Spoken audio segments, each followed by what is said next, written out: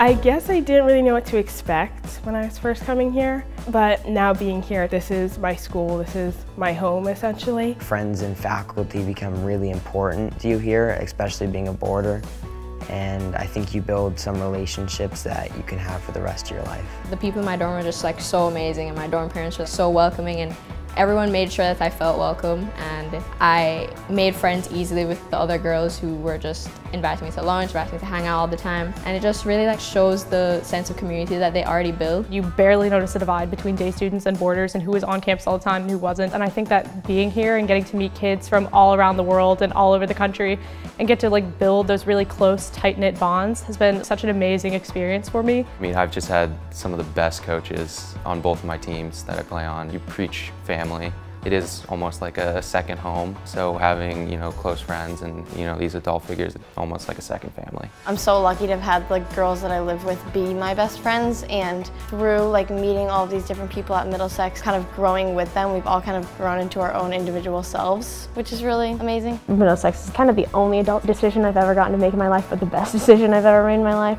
When I go home, I realize that I'm homesick for Middlesex. I think the community is incredibly selfless and the support from the faculty and the students is something you can't find anywhere else.